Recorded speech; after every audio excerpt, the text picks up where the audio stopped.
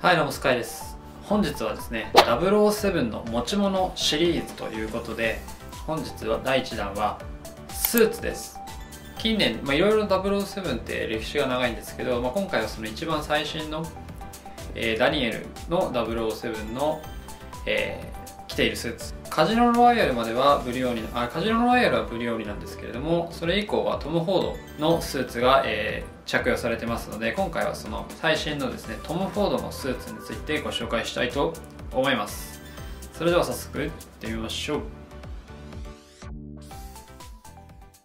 はいこちらがですね、えーまあ、007でジェームズ・ボンドが着ているトム・フォードのスーツですね。トム・フォードいくつかえー、の、えー、シリーズ着られてるんですけど、まあ、オコこのその中でもオコナーと呼ばれているシリーズの、えー、トム・フォードのスーツになります。私が購入したのはこのオコナという、えー、シリーズのものの、えーとまあ、グレーチャコールグレーですね。素材はですねウールとシルクと麻が、えー、ブレンドされてる、えー、素材であのシルクが入ってるのですごい光沢感があるんですけれども、まあ、麻も入っていることによって、えーまあ、カジュアルではないんですけれども少しその肌触りとしてこうサラサラしているところもあります。はい、このトム・フォードのオコナーというシリーズは特徴としてですね、えー、まずここのドラペル。トム・フォードって結構先がとんがってるピークドラペルのものとかがウィンザーとか多いんですけどこれは割あの、えー、ノッチドラペルとんがってない方ですね。割と通常に近いあのよくあるスーツに近い形の、えー、ラペルになっていて007でも着用されてるシーンが多いのはこっちの方かなと思います。で、えー、これは割とトム・フォードのスーツ全般に言えることですけれどもすごいあれですね腰のラインこうシェイプに絞られていてこう逆三角形のような、まあ、トム・フォードのこのタフでセクシーな感じっていうのが現れるようにこの逆三角形で、えー、腰が結構絞られている割と細身に着こなす、えー、タイプの、え、ものですね。であとシルエットの特徴としてはやっぱりトム・フォードは他のブリオーニとか、えまあ、スーツブランドに比べてえちょっと着丈とあと袖丈が長いですね。少し袖丈が既製品のサイズです。と袖丈が少し長くてこういう長いシルエットで作られているのでこれをこう着こなすには結構、まあ、身長と腕の長さとかが必要になってくるっていうちょっと着るものを選ぶ感じの、えー、シルエットですね。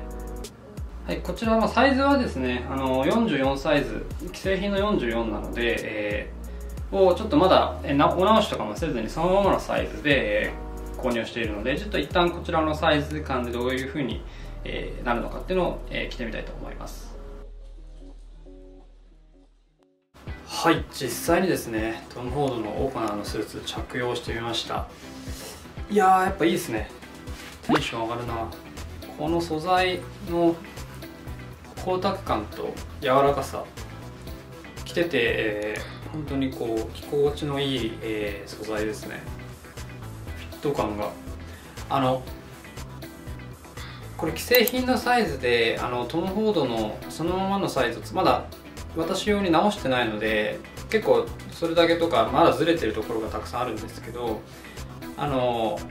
まあ、まずはトム・フォードの既製品としてのスタイル感っていうのをお届けしたいと思うのでそのままあえて、えー、お直しとかせずにですね、えー、着てます。でやはりあの日本人というか結構やっぱこのトム・フォードって着丈が長いのであの普通に着てしまうとやっぱここの部分が長いですね。なのでここはお直しする、えー、ここ詰めていく必要があるんですけどまあ詰めてしまうとですねトム・フォードのあの理想のスタイルと、まあ、ちょっと変わった形。このもちろんこのウエストの部分とこの袖の部分あと着丈の部分ってこのバランスを考えてトム・ホードさん作られてますので、まあ、そこがちょっと変わってしまうっていうのが、まあ、残念なところですね。なのでまあ実際着る時には、えー、お直しというか、はい、サイズずらさあの調整しないといけないんですけど、まあ、そうすると全体の本来のバランスとしてはちょっと崩れてしまうので、まあ、本当はですねこうバッチリ既製品のトム・フォードの理想のスタイルに合う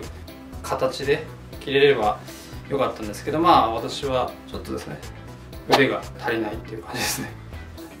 まあ、なのでサイズはちょっとあれなんですけど、まあ、素材感とかシルエットのこのウエストの部分とかですねこう逆三角形になっているところとかが分かればあの分かれば伝わればなと思いますね。やっぱりシルエットもかっこいいですね。結構私その007とか大好きでそういうのすぐ影響されちゃう人なんでもうトム・フォードのスーツはいつかは買いたいと思ってたんですけどいややっぱりいいですね。あでもスーツはですねあの個人的にはあの憧れがあったんでこちら買いましたけれどもスーツはえー、普通の服とかだったらオーバーサイズとか今流行ったりとかしてるんで多少サイズ感がずれててもまあ着こなしによっては、えー、使えるっていう風に感じますけどスーツはですねやっぱり体にぴったりと、えー、ジャストフィットしてるっていうのがそのこの素材感とかよりもまず大前提として、えー、フィット感っていうのが大事だと思ってるので、まあ、基本私がスーツ買うとしたらやっぱりオーダーの方をおすすめしますね。やっぱり人によって体の形って全然違うのでなかなか既製品ドンピシャで、えー、フィットする人っていないのでやっぱりオーダーにした方が多少素材感とかは、えー、落ちるかもしれないですけどそちらの方がかっこよく見えるかなと思います。まあちょっとトム・フォードの紹介をしといてなんですけど私のスーツの考えとしてはそうですね。結構私左手がちょっと長かったりとかそういうあの微妙な本当に微妙な差とかでスーツってあのそういうところもオーダーって合わせてくれるんでやっぱりそこをバッチリ合わせる方がかっこいいと思いますね、まあ、とはいえこのトム・フォードのスーツのこの素材とかをちょっと着てしまうとやっぱりまあ既製品とはいえやっぱりこれいいなって思いますね。理想はトム・フォードのスーツをオーダーするというのがそれが一番いいのは間違いないんですけど、そんな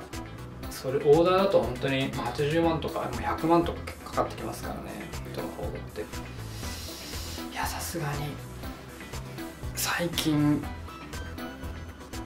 スーツ着る機会もなくなってきましたからね。それに100万とか出すのはちょっとちょっとどころじゃないですね。普通に無理ですね。はい。今回はですねあの007の持ち物ってっていうところでまずはスーツっていうところのご紹介、まあ、トム・フォードのスーツオコナーというモデルの紹介をし,、えー、させていただきました、まあ、これ引き続きちょっとどこまでやるかわかんないんですけど007の持ち物シリーズっていうのはご紹介できればなというふうに思ってます。それでは次の動画で、え、またお会いしましょう。バイバイ。